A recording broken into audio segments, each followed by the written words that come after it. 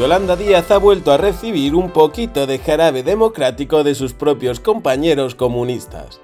Durante un acto de su nuevo partido, Sumar, en Valencia, dos jóvenes del Frente Obrero han parado por completo el acto al protestar en contra de las políticas de la vicepresidenta segunda del gobierno de España. Algo que ha ocurrido justo cuando Díaz ponía el foco en la responsabilidad de los políticos, sin hacer referencia directa al ex líder de Podemos, Pablo Iglesias, que le señaló en redes este viernes por ponerse de perfil y tener una actitud miserable y cobarde ante la polémica de la ley del solo sí es sí. Durante la interrupción se ha mostrado bastante incómoda haciendo gestos extraños con la boca, pero finalmente ha reconocido que siempre que va a Valencia boicotean sus actos en una especie de chascarrillo.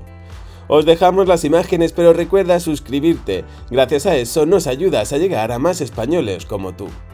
Y quien se distrae en este camino, quien se distrae seguramente no sirve para el fin de cambiar nuestras vidas.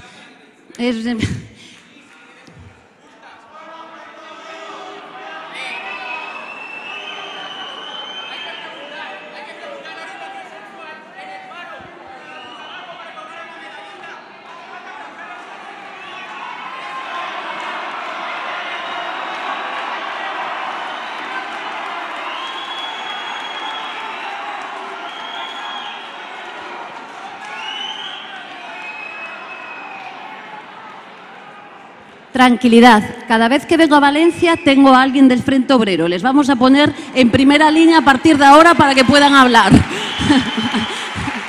Tranquilidad. Os decía que la política va de cambiar la vida de la gente. No olvides darle like y suscríbete si aún no lo has hecho.